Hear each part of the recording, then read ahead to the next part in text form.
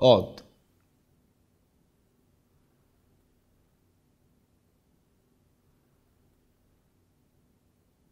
مصطفى محمد نخلف. متهم بجريمة قتل وجاري التحقيق عن إذا كانت عن عمد أو عن غير عمد. آه. أنت إيه رأيك يا مصطفى؟ هتفرق في حاجة؟ يعني إيه هتفرق في حاجة؟ يعني ما أظنش رأيي هيفرق في حاجة. إحنا هتديها لف ودوران من أولها؟ خد بالك. أنا الوحيد اللي مش هتعرف تلف وتدور عليه. وأنا هلف وأدور ليه بس؟ التحقيقات بترجح إن الجريمة تمت عن عمد.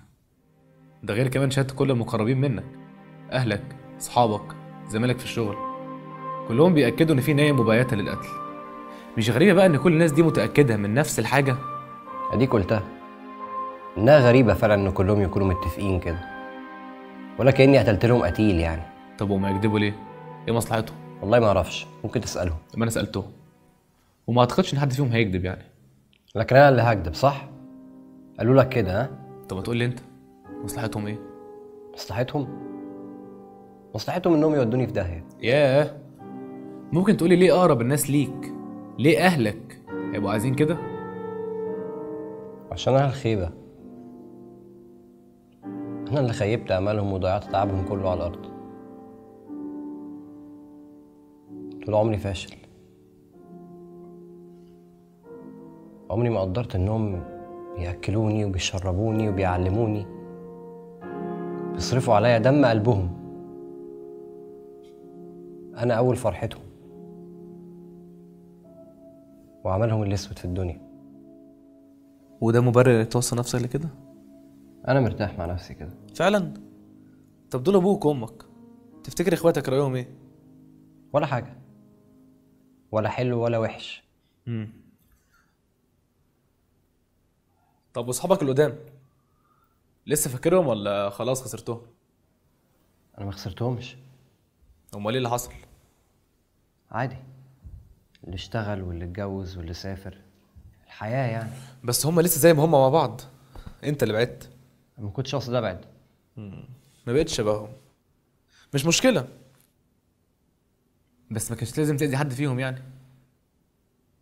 أنا عمري ما أذيت حد فيهم. واللي عملته في علي ما كانش أذى؟ تدبر خازوق لصاحبك اللي شغلك وتطور من الشغل. ده مش اذى باين أنا أنا أنا ما كانش قصدي يحصل كده. أنا أنا كنت عايز بس إن أنا يعني أ... بس كنت عارف وسكت. عجبتك اللقطة؟ قلت قرشين حلوين زيادة وتركب على مكانه. وكأنك مالكش يد بالموضوع خالص. عملت كده ليه؟ أكيد هو. صح؟ فشغلك حياتك. هو السبب في كل حاجة. يلا. الله يرحمه ويسامحه بقى. الله يرحمه. كان لازم ابطل اعلق فشلي عليه. مش كفاية أنا اللي حصرته. لكن هو هو كان ملاك. خاف عليا وعلى مصلحتي. بيديني بالجزمة. بس عشان أبقى راجل وأعرف أشيل مسؤولية.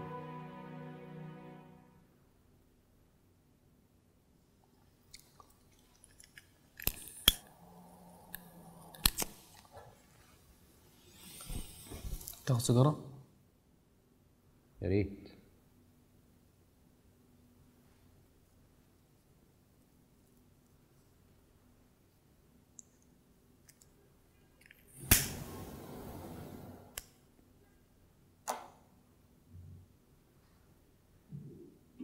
أنا عارف كل اللي بيدور في دماغك دلوقتي.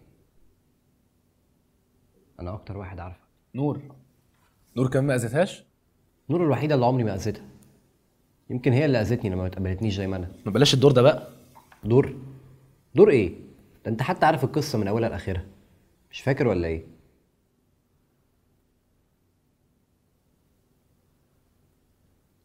عمرك ما تبطل تحاول تبقى مثالي. تعرف تقول لي وصلتك لإيه بقى مثاليتك دي؟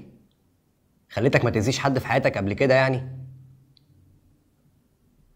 لكن سكوتك ده عمره ما كان أذى صح؟ انت مريض ومعقد. عارف.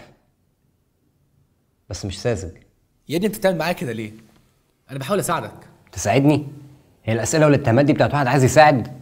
انت فاهم ان أنا اصدق الكلام ده؟ أنا بحاول إن إحنا نوصل للحقيقة. يمكن نرتاح بقى. تفتكر كده هنرتاح؟ يمكن نقدر. يا ريتها كانت سهلة كده.